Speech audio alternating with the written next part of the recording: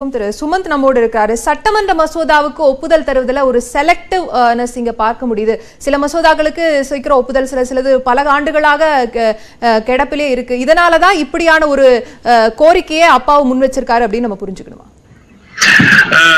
முதல்ல வந்து சபாநாயகர் அவர்கள் இந்த ஆஹ், கடிதத்துல எழுதியிருக்கிற விஷயங்கள் எல்லாமே மிகவும் முக்கியமானவை.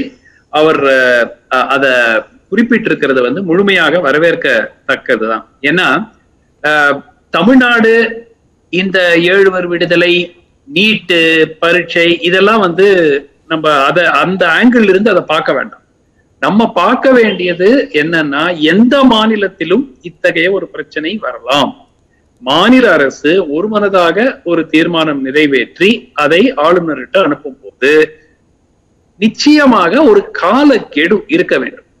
அந்த காலத்துல வந்து இன் குட் ஃபெய்த் அரசியலே வந்து ஒரு இன் குட் ஃபெய்த் அதாவது மத்திய அரசு ஆளுநரை பயன்படுத்தி ஒரு மாநில அரசை வந்து ஒரு வீக்கெண்ட் செய்ய செய்யும் அப்படிங்கிற எண்ணமே வந்து அந்த கான்ஸ்டிடியூஷன் டிராஃப்ட் பண்ற நேரத்துல அவங்களுக்கு இருந்திருக்காது. ஆனால் இன்றைய நிலைமை என்னவென்றால் மத்திய அரசுடைய ஒரு ரெப்ரசன்டேட்டிவாக ஆளுநர் இருந்தாலும் மத்திய அரசில் எந்த கட்சி ஆளும் கட்சியாக இருக்கிறதோ அதனுடைய ஒரு அஹ், அஹ், ஒரு இன்ஸ்ட்ரக்ஷன்ஸை கேரி அவுட் பண்ணும் நிலையில தான் வந்து ஆளுநர்கள் இருக்கிறார்கள். இது முன்பைய காங்கிரஸ் ஆட்சியிலும் அப்படிதான் இருந்தது இப்ப பாஜக ஆட்சியிலும் அதே மாதிரி தான் தொடர்கிறது.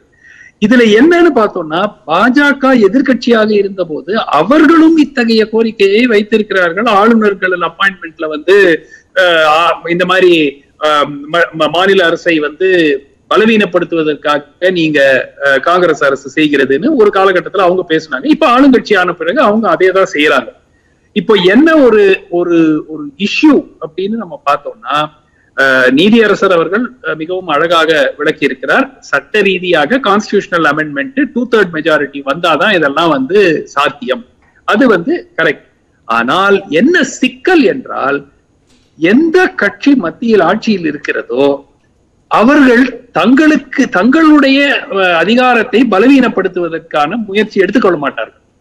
இப்ப என்ன இருக்கு? அவங்க கவர்னர் மூலமாக ஒரு ஸ்டேட்டுக்கு பிரச்சனை உண்டாக்கக்கூடிய ஒரு சூழல் அவர்கள் இப்பொழுது என்ஜாய் பண்ணிட்டு இருக்காங்க.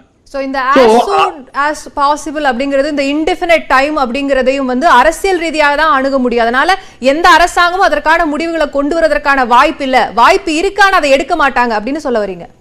வாய்ப்பு நினைத்தால் இப்போ நான் ஒன்னே ஒண்ணு சொல்றேன். அஹ், ஒரு ரெண்டு ஆண்டுகளுக்கு முன்பு அஹ், இல்ல ஒரு ஐந்து ஆண்டுகளுக்கு முன்பு இந்த எலெக்ஷன் ஃபண்ட்ஸ் ஃப்ரம் ஓவர்சீஸ் வெளிநாடுகளில் இருந்து வந்த ஃபண்ட்ஸ் வந்து உச்சநீதிமன்றம் வந்து அவங்க காங்கிரஸ் மேலயும் பிஜேபி மேலயும் அவங்க செஞ்சது தவறு. அதை வந்து அவங்க பெற்ற முறையில் பெற்றிருக்க கூடாதுன்னு ஒரு தீர்ப்பு வந்தது. என்ன பண்ணாங்க? பாராளுமன்றத்துல போயிட்டு ரெட்ரோஸ்பெக்டிவா ஒரு அமெண்ட்மெண்ட் கொண்டு வந்துட்டாங்க. ஆயிரத்தி தொள்ளாயிரத்தி எண்பது தொண்ணூறுல இருந்து வந்த வெளிநாட்டுல இருந்து வந்த பணம் எல்லாம் சரிதான். இது யார் பண்ணது? ரெண்டு கட்சியும் சேர்ந்து காங்கிரஸும் சேர்ந்துச்சு பிஜேபியும் சேர்ந்துச்சு ஒன்னா சேர்ந்து தங்களுக்கு எதிராக இருந்த அந்த கேஸே வந்து செல்லாதபடி ஆக்கி விட்டார் சோ இதுதான் பிரச்சனை. அரசியல் கட்சிகள் ஆட்சி பொறுப்பில் இருக்கும்போது அதிகார துஷ்பிரயோகம் செய்வது என்பது இந்தியாவிலேயே ஒரு வழக்கமாகி விட்டது முன்பு முன்பு ஒரு காலத்துல காங்கிரஸ் செய்தார்கள் இப்பொழுது பாஜக செய்கிறது. ஆனால் நிச்சயமாக மற்ற அனைவரும் இங்கு கூறியது போல் ஒரு காலக்கெடு இருக்க வேண்டும். காலக்கெடு வந்து அன்பார்ச்சுனேட்லி அது அரசியல் சாசன சட்டத்தில் இன்றைய சூழலில் இல்லை. இதை பயன்படுத்தி கொண்டு பல விஷயங்கள் இங்க தமிழ்நாட்டுல இருக்கிற இந்த ரெண்டு மூணு பிரச்சனைகளை மட்டும் பேச வேண்டாம். பல மாநிலங்களில் ஆளுநர்கள் எதிர்க்கட்சி அரசாங்கங்கள் அங்கு இருக்கும் போது இத்தகைய இந்த இந்த லூப் ஹோல பயன்படுத்தி கொள்கிறார்கள். அதை தடுக்க வேண்டும் என்றால் நிச்சயமாக இந்த கான்ஸ்டிடியூஷனல் அமெண்ட்மெண்ட் கொண்டு வரணும். ஆனா எந்த ஆளும் கட்சி டெல்லியில இத்தகைய ஒரு அமெண்ட்மெண்ட்டை கொண்டு வர தயாராக இருக்கும். என்னை பொறுத்த வரைக்கும் எந்த கட்சியும் கொண்டு வராது. இப்படி ஒரு வாய்ப்பு இருக்கு ஆனா அதை கொண்டு வர மாட்டாங்க அரசியல் காரணங்களுக்காக அப்படிங்கிற ஒரு விஷயத்தை முன் வச்சிருக்கீங்க நம்ம தொடர்ந்து பேச இருக்கிறோம். ஒரு சிறு இடைவேளைக்கு